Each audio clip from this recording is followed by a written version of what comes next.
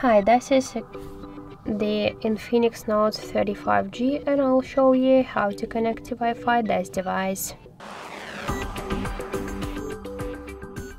So open first the settings, then tap to the Wi-Fi section and click to Wi-Fi switcher to activate it.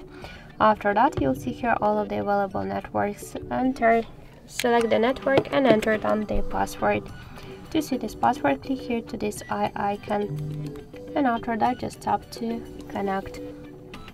Now we can see that this device successfully connected to the network and here also we got the switcher, how we could do that. Also we get one more way how we could do that, just open first the control panel and find here Wi-Fi icon, click on this Wi-Fi icon to activate Wi-Fi or to turn it off and to launch Wi-Fi settings hold it for a while and that's it. So thank you for watching and if you like this video leave thumbs up and subscribe.